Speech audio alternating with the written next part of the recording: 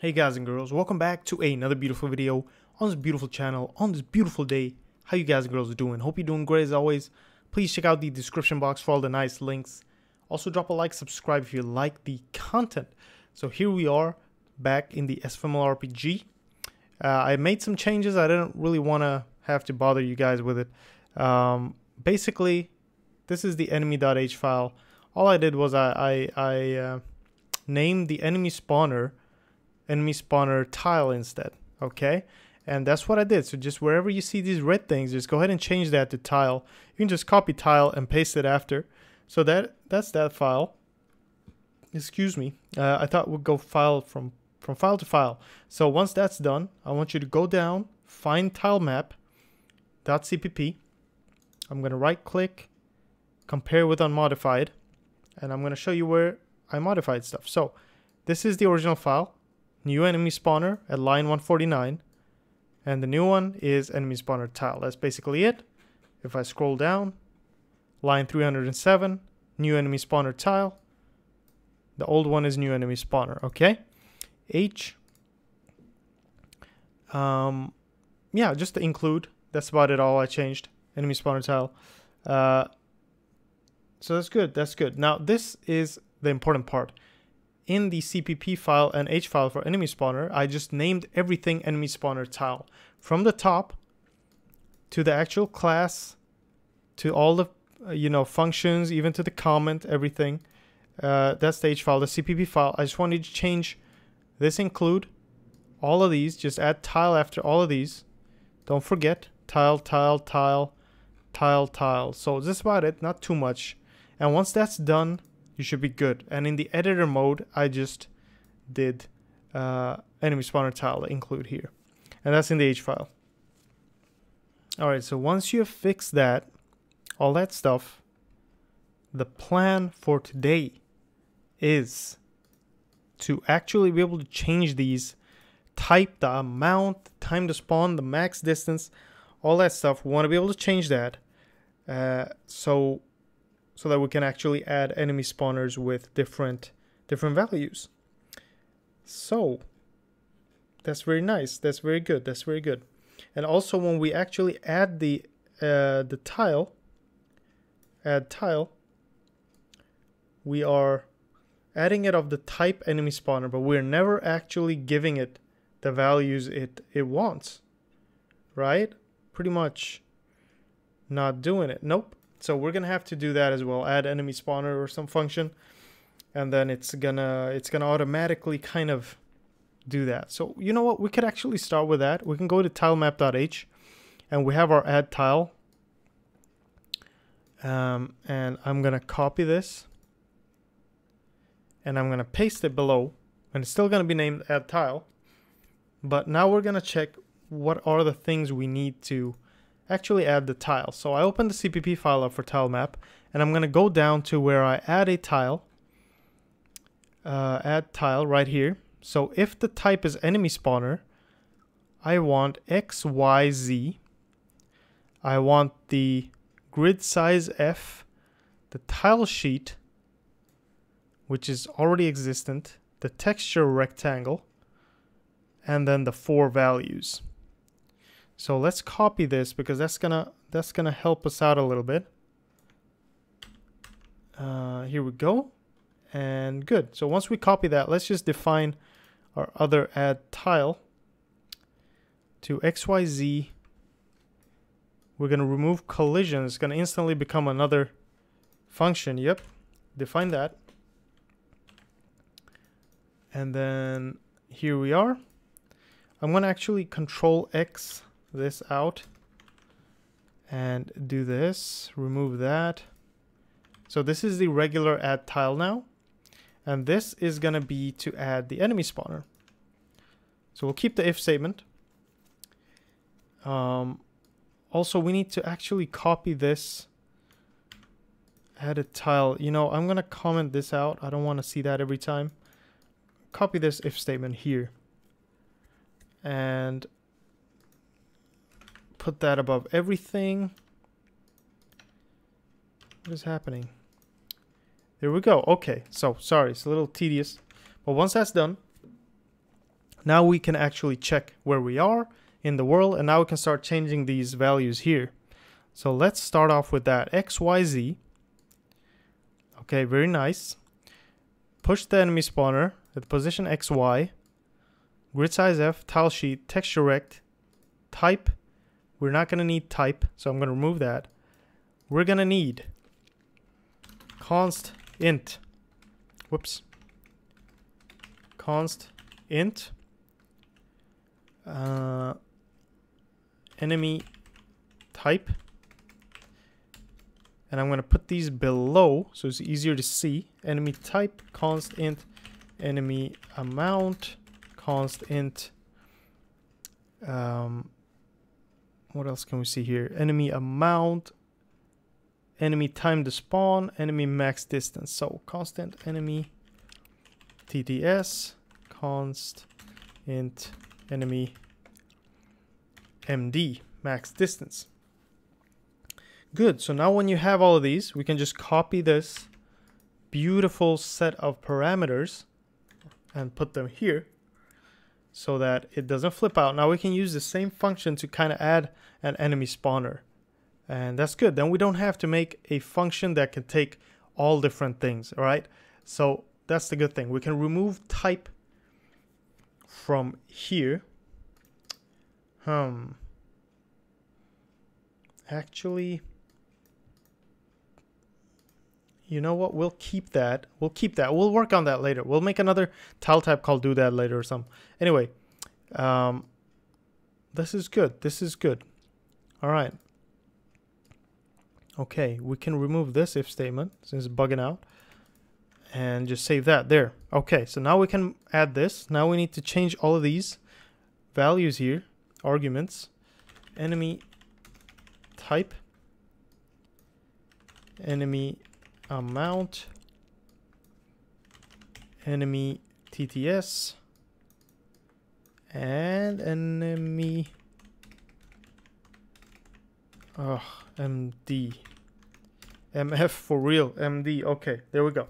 So that's done that's good. Uh, now we can use this. Now we go back to our default editor mode. No enemy editor mode. And we're gonna check out our add tile here we go. So once we add the tile here, we're not doing this version. We're doing another version. Removing that. And let's see. So X, Y, not collision. X, Y,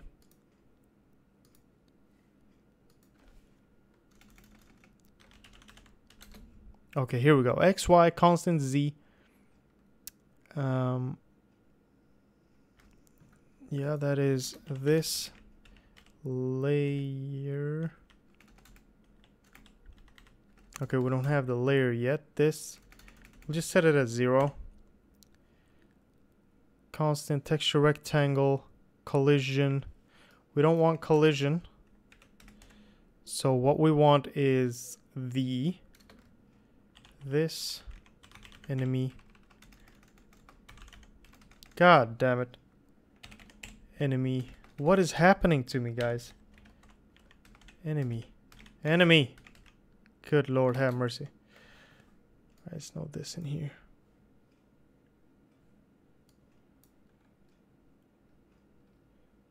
Okay, that is good. That is good. Okay, okay. All right, so So, okay, all right. So, to make this work, obviously, uh, we're gonna have to do add those variables here. This type, and I'm gonna put this below so it's easier. This amount. This is confusing having variables named like this. This time to spawn. This max distance. Okay, but still, it does work, and that makes it so I can add enemy spawners once that is done, your enemy spawner thing should be good. And if we just run this quickly and load up our map, add a few enemy spawners, we should see that it works. So editor, escape load. Uh, you know what? I'm just going to remove all of these and then add some enemy spawners. One, two, three, four, five, six, seven, eight, and then we're just gonna save, load. Okay, didn't crash. New game. We still have them here. Quit, quit. Now we're gonna check that out. Uh, where is it? Where is it? Where is it? Where is it? Where is it? So six, seven.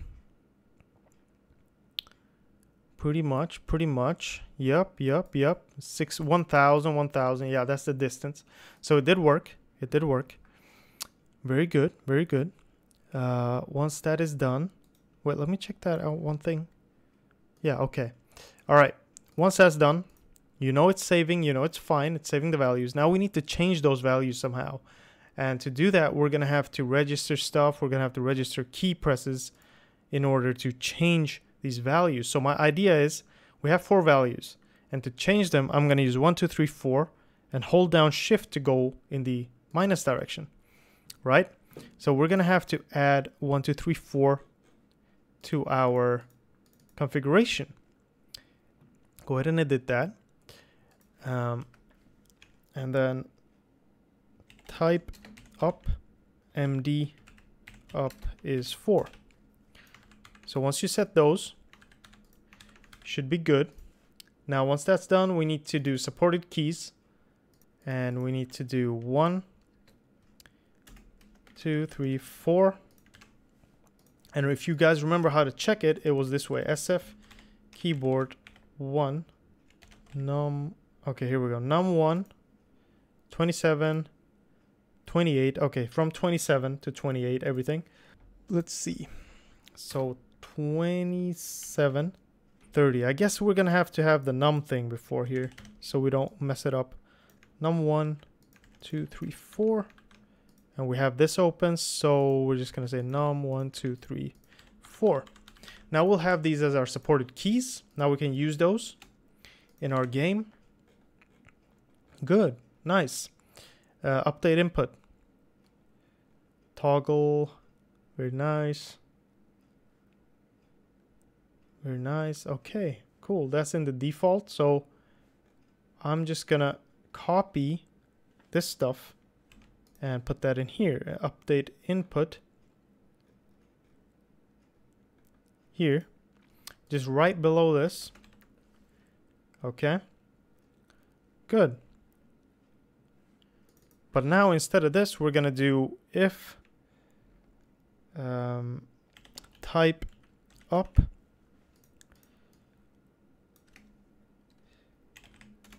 if this type is less than 100, I'm guessing. Probably don't want to have more than a thousand types, whatever. This type plus plus. Um, and here we're going to do if this, if keyboard is key pressed also at the same time. Uh, which one is it? or shift, right shift, I guess. Then else if this type is less than, we're just going to do that. So this type minus minus if this type is greater than zero, then we're to decrease that type. So hopefully you understood that. Shouldn't be too complicated. Um, also, if it's not shift, we're to check if it's less than a thousand, we'll do plus. Otherwise, we won't do anything.